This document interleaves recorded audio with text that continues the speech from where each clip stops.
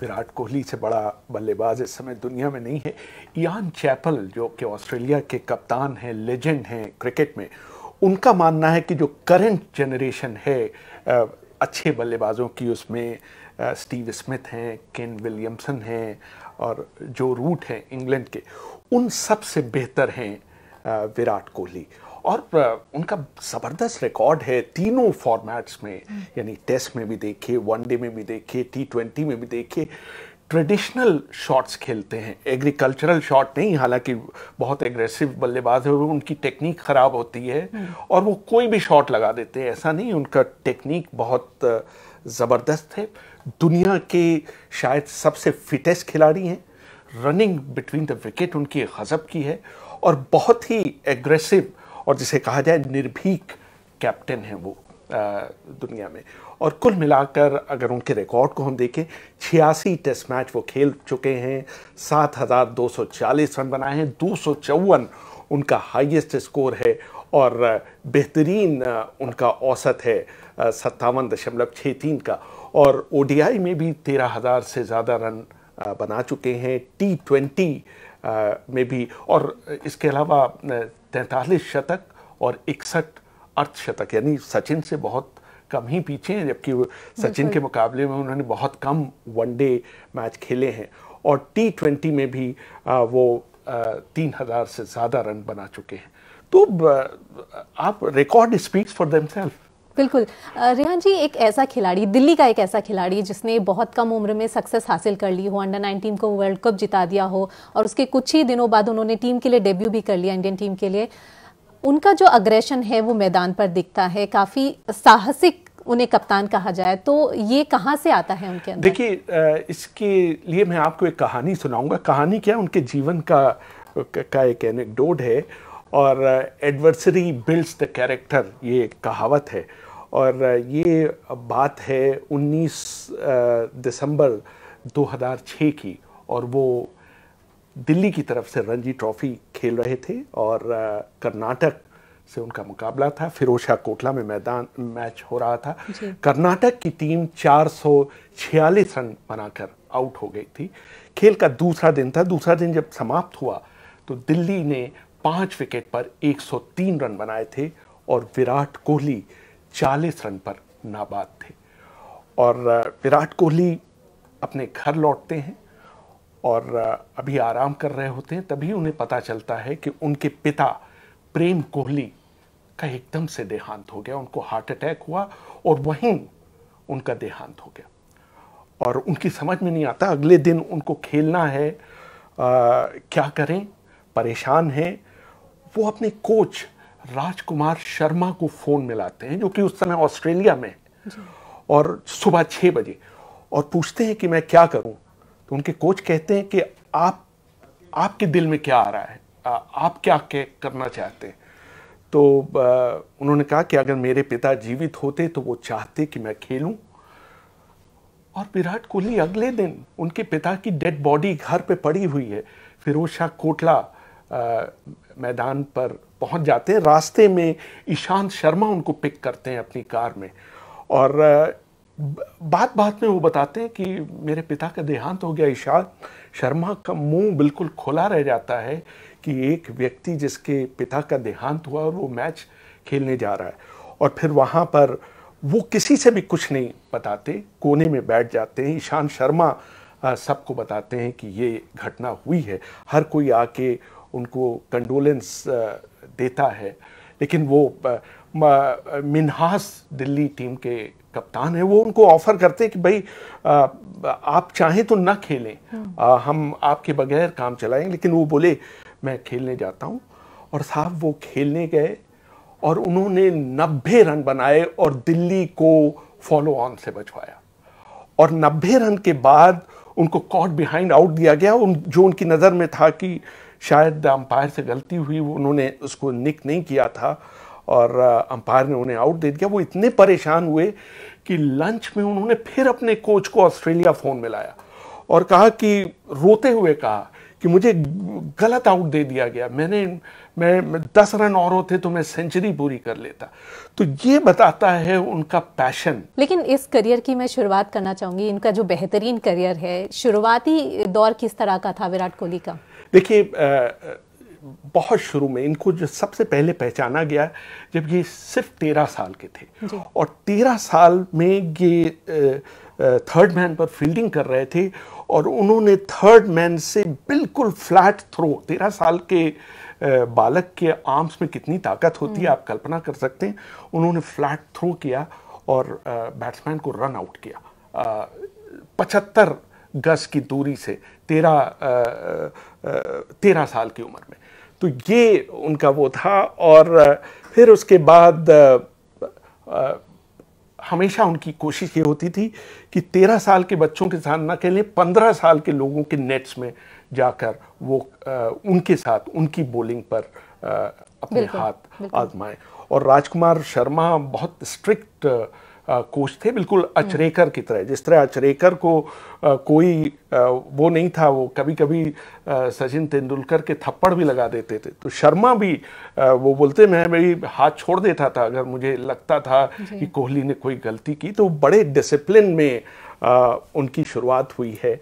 और फिर आ, अंडर 15 के एक टूर्नामेंट में उन्होंने दोहरा शतक बनाया है और फिर उनको दिल्ली की रणजी टीम में चुना गया है। और फिर वो कई उसके वो हैं, उन 2008 का जैसा कि आपने ज़िक्र किया अंडर 19 विश्व कप के वो कप्तान थे और फिर इंडिया ए में उनको चुना गया। वर्ल्ड कप से 15 महीने पहले से कोहली बिल्कुल अपने टॉप फॉर्म में आ गए थे और एक तरह से इंटीग्रल हिस्सा बन गए थे भारत की एक दिवसीय टीम का नंबर चार पर उन्होंने अपने आप को इस्टेब्लिश कर दिया था। अगर हम याद करें वर्ल्ड कप का फाइनल श्रीलंका के खिलाफ और मुंबई का वांगखेड़े स्टेडियम श्रीलंका ने 275 रन बनाए थे और भारत की शुरुआत बहुत ख़राब हुई थी। दो विकेट 20 रन पर गिर चुके थे और सचिन तेंदुलकर भी आउट हो चुके थे।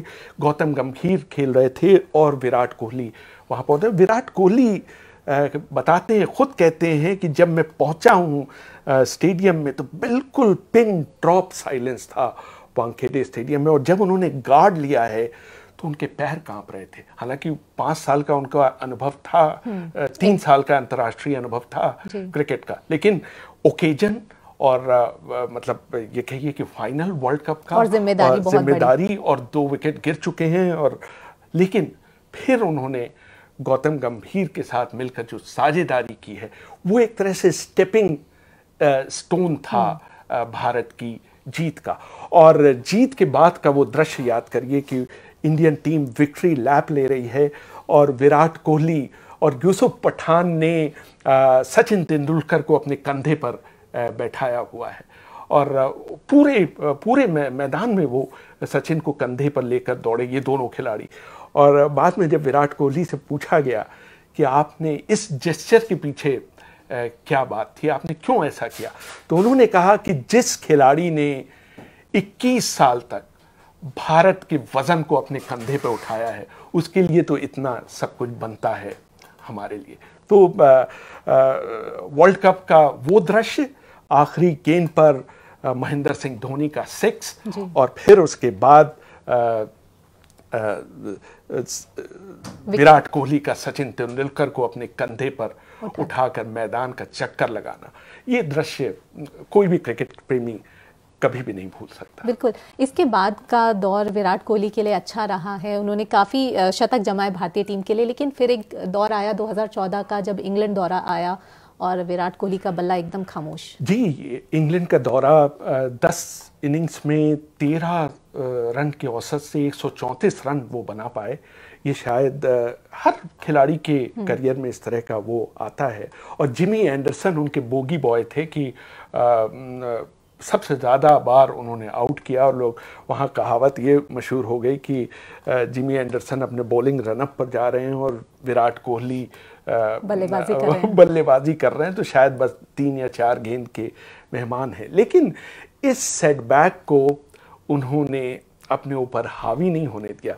उन्होंने सबसे पहले रवि शास्त्री ने उनकी कमी भापी और उन्होंने उनको सलाह दी कि आप outside the off stump crease के बाहर खड़े हों ताकि जो लेट स्विंग हो उसको आप नेगेट कर सकें। ये उनकी सलाह थी।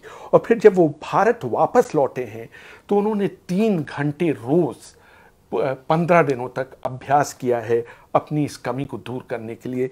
जब तक वो पूरी तरह से संतुष्ट नहीं हो गए उन्होंने आ, वो लगातार मेहनत करते रहे। और इस कमी को उन्होंने जो लेट स्विंग को खेलने की उनकी कमी थी उसको उन्होंने दूर किया। रेहान जी यही दौरा था जब विराट कोहली का जो साइकोलॉजी होती है मैदान पर हावी होने की वो यहीं से शुरू हुई क्योंकि यहाँ पर कुछ मैदान पर ऐसे जेस्चर्स उन्होंने दिखाए जिसकी काफ़ी आलोचना भी हुई और कुछ प्रेस कॉन्फ्रेंसेस पे भी ऐसे बयान जी आलोचना उनकी इस बात पे होती थी कि वो बहुत ज़्यादा शो ऑफ़ करते थे जब अपना शतक लगा देते थे बल्ला इधर उधर कर रहे हैं और बहुत एग्रेशन तो गावस्कर ने बल्कि उनके टोका भी कि दुनिया के टॉप खिलाड़ी को इस तरह का जेस्चर नहीं करना चाहिए मेलो डाउन होना चाहिए।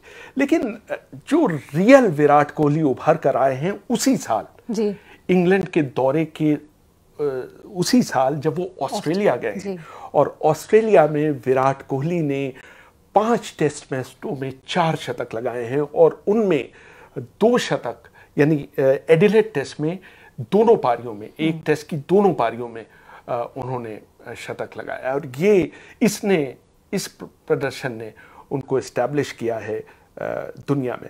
रवि शास्त्री जो कि उनके कोश होते थे उस ज़माने में, वो कहते हैं कि मैंने ये जो एडिलेट में सेकेंड पारी में जो उनका शतक था, बोले, मैंने किसी भारतीय को इतना अच्छा विदेश की धरती पर खेलते हुए नहीं देखा ख़ास तौर से जबकि पिच डिटोरिएट कर रही हो क्योंकि चौथे दिन पाँचवें दिन की पिच थी। पिच बिल्कुल टूट चुकी थी 400 रन से ज़्यादा का लक्ष्य था। टॉप क्लास दुनिया की बेहतरीन गेंदबाजी का वो सामना कर रहे थे और उन्होंने न सिर्फ़ शतक लगाया बल्कि भारत को करीब करीब जीत के कगार पर पहुँचा दिया। एक दौर आया जब महेंद्र सिंह धोनी ने टेस्ट क्रिकेट से संन्यास लिया और फिर कमान आई विराट कोहली के हाथ में। कप्तानी का दौर जो वहाँ से शुरू हुआ अब तक आप किस तरह से देखते हैं? देखिए विराट कोहली कंट्रास्ट अगर करें तो धोनी बहुत ही कैप्टन कूल थे। आ, हम्म। वो धीरज नहीं खोते थे मुश्किल में परेशान नहीं होते थे और आ, लेकिन विराट कोहली स्वभाव से बहुत एग्रेसिव है। पहले की भारतीय टीम का ये था कि अगर आपने मैच ड्रॉ करा दिया तो उसको जीत माना जाता था। विराट कोहली की ये सोच बिल्कुल नहीं है विराट कोहली डे वन से या जिसे टॉस होने से लेकर हम्म। हमेशा जीत के लिए जाते हैं और उनका रिकॉर्ड बहुत अच्छा रहा है उन्होंने और दूसरी चीज़ कि वो उनका एक और सिद्धांत है जो वो कहते हैं अपने खिलाड़ियों से कि मैं आपसे वो कोई चीज़ नहीं कहूँगा जो मैं खुद नहीं करता हूँ या मैं खुद से नहीं माँगता हूँ। तो ये आ, उनकी एक्सपेक्टेशन है और सारी टीम आ, उनको समझती है। और आ, आप देखेंगे कि परफॉर्मेंस बहुत अच्छा रहा है। भारतीय टीम का पिछले तीन या चार सालों में नंबर वन टेस्ट टीम का होना मतलब सिर्फ़ तुक्का नहीं हो सकता। बिल्कुल। इंग्लैंड के खिलाफ उन्होंने मुंबई टेस्ट में दोहरा शतक लगाया है और कुछ इस इसका कुछ इंटरेस्टिंग आंकड़ा है। जी जी। 235 रन जी। उन्होंने बनाए थे 340 गेंदे खेलकर और 25 चौके और एक छक्का। और साहब हालाँकि बहुत एग्रेसिव बल्लेबाज हैं लेकिन डिसिप्लिन देखिए कि जब तक उन्होंने 200 रन पार नहीं कर लिए उन्होंने कोई लॉफ्टेड ड्राइव नहीं खेला हम्म।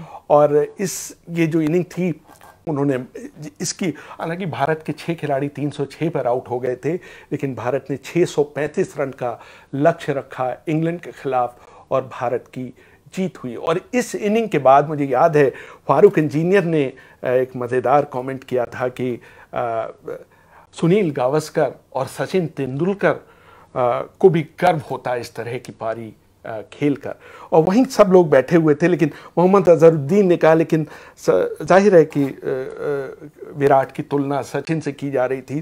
तो अजहरुद्दीन बोले कि सचिन ने विराट से शायद ज़्यादा फास्ट बॉलर्स का सामना किया है दुनिया में और डोमिनेट भी किया है। और लेकिन वहाँ पर अजीत और एक एक चीज़ उन्होंने और कही। उन्होंने कहा कि गावस्कर ने अपने सारे रन बिना हेलमेट के बनाए हैं। तो अजीत वाडेकर भी बैठे हुए थे, बोले, साहब, ये आप लोग अपने बात यहीं पर रोक दीजिए। ये कहिए कि आपने इस इनिंग को एंजॉय किया या नहीं? तो सबने कहा कि, साहब हाँ इस इनिंग को एंजॉय किया। और न सिर्फ़ ये बल्कि वो जो गोल्डन पीरियड था 16 से 17 के बीच उन्होंने चार दोहरे शतक लगाए वेस्ट इंडीज़ के खिलाफ न्यूजीलैंड के खिलाफ इंग्लैंड के खिलाफ और बांग्लादेश के खिलाफ। चार अलग ये एक तरह का रिकॉर्ड है चार अलग अलग देशों के खिलाफ एक ही कैलेंडर वर्ष में डबल सेंचुरी 2014 में एक किस्सा है। उन्होंने अपने कोच राजकुमार शर्मा को टीचर्स डे पर एक खास तोहफा दिया था। जी जी अरे वो बड़ा मज़ेदार किस्सा है। राजकुमार उस ज़माने में विराट कोहली अमेरिका गए हुए थे एक एड कैंपेन के लिए। पाँच सितंबर 2014 की बात है। अचानक उनके घर की घंटी बजी और जब उन्होंने दरवाज़ा खोला तो विकास विराट कोहली के भाई विकास कोहली वहाँ खड़े हुए थे उन्होंने फ़ौरन अपने मोबाइल पर एक फ़ोन मिलाया और जैसे ही उधर से आवाज़ आई, उन्होंने फ़ोन राजकुमार शर्मा को पकड़ा दिया। उधर से विराट कोहली अमेरिका, वहाँ से बोल रहे हैं कि हैप्पी टीचर्स डे सर और जैसे ही उन्होंने हैप्पी टीचर्स डे जैसे ही फ़ोन काटा विकास ने एक चाबी उनके हाथ में पकड़ाई। वो उनकी समझ में नहीं आया क्या? वो उनको गेट तक ले गए और गेट पर बिल्कुल नई स्कोडा रैपिड कार खड़ी हुई थी और ये विराट कोहली का तोहफा था अपने कोच के लिए टीचर्स डे पर। तो वो अभी भी उस घटना को याद करते हैं। बहुत बड़ा जेस्चर था। लोग अपने टीचर्स का सम्मान तो करते हैं, लेकिन इस तरह से सम्मान करना बहुत बड़ी बात थी।